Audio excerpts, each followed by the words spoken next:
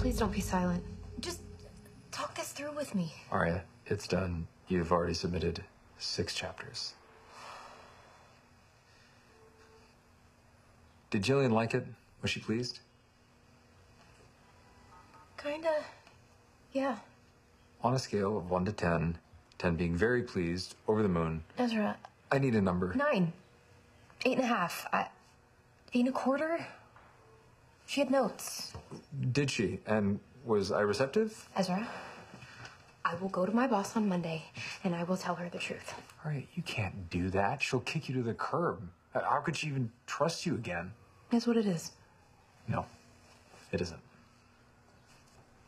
I know you were trying to protect me, saw that I was falling apart, and you assumed the worst. You thought a jury would hand out a lighter sentence if I wrote a painful and gripping story, which also has all the makings of a great romantic novel if you want to write that too. I can't really tell if you want to hug me or punch me. How can I punch you? This wasn't a career move. This this was an act of love.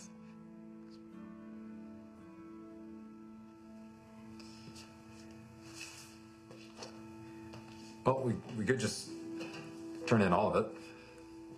I mean, Dickens was paid by the inch. Oh.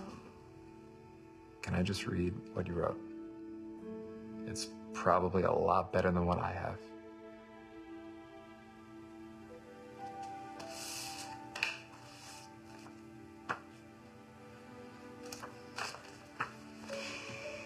Okay, tell me you're not in love.